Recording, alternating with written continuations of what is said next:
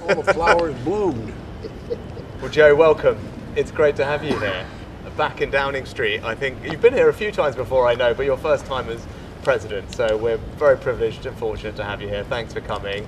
Great for us to carry on our conversations, which we were having just a month or so ago, it feels like, in the White House, where we signed the Atlantic Declaration, the first of its kind uh, economic partnership, which I know we'll be talking about today. How do we strengthen our cooperation and joint economic security allies in that alliance? And I know we'll want to do everything we can to strengthen Euro-Atlantic security. But great pleasure to have you here. It's good to be back. You know, we've only been meeting once a month. uh, just a, we met in San Diego, Belfast, Hiroshima, Washington, here, and uh, couldn't be meeting with a closer friend and a greater ally. And, uh, Yeah, thanks very much. Mr. President, how was your call with President Erdogan? AI summit, Mr. President. Thank you, media. Are you confident Thank you, Sweden will be able to get approval Thank from you, Turkey this week? Joe, we've got Thank you, cameras.